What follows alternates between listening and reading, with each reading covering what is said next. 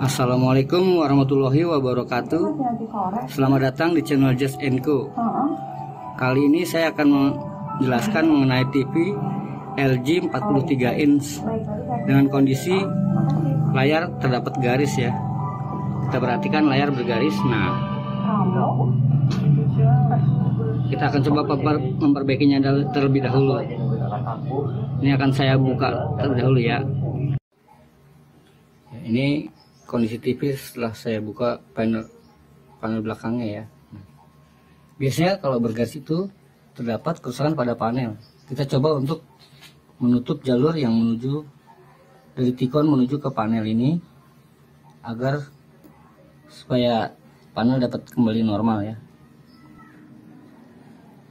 Untuk itu saya coba tutup terlebih dahulu jalurnya.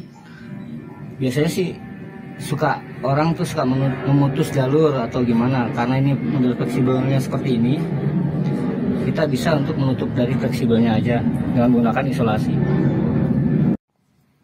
Untuk mengetahui jalur mana yang akan kita putus kita coba untuk melepas dulu fleksibel ini satu persatu ya untuk mengetahui mana yang sebaiknya biar tidak terjadi kesalahan.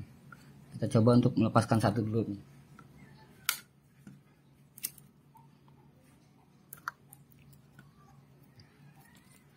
Nah, kita akan coba nyalakan mana jalur yang itu ya. Yang putus. Nah, setelah kita nyalakan hasilnya seperti ini. Kita perhatikan ya. Ini masih terdapat garis. Berarti kalau garis begini kita tadi lepas yang kiri berarti yang kanan kita coba akan lepas ya. Apakah masih terdapat garis seperti ini sekarang ini yang saya lepas yang sebelah kanan ya atau yang bawah nih pada posisi TV menghadap ke posisi normal. Kita coba lihat ke depan.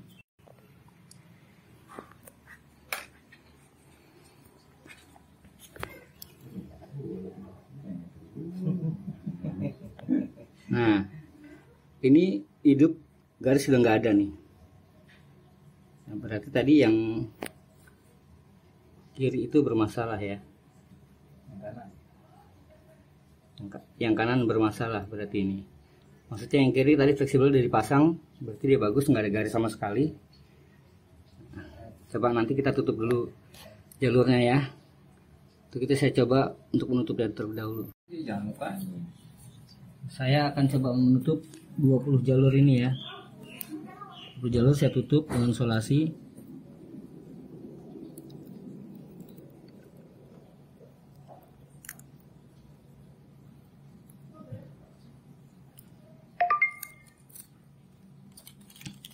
supaya panel yang sebelah kiri tidak mendapat tegangan kita akan lihat terlebih dahulu hasilnya nah, kita coba pasang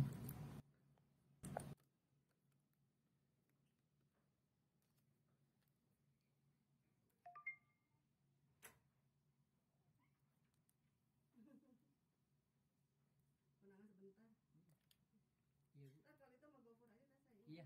Paling berapa jam ini? Lama masih lama kan? Ya lumayan sih bu nih paling satu jam lagi coba diitin. Ongkosnya berapa bang? Nah sekarang sudah saya pasang ya fleksibel kabelnya ke PCB. Kita coba untuk menyalakan lagi kita lihat gambarnya sekarang ya.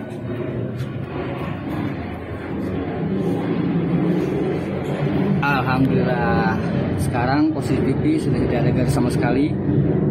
Ini dengan cara kita menutup menggunakan solasi sebanyak 20 jalur ya. Jadi dengan menutup jalur ini kondisi layar sudah kembali normal. Ya.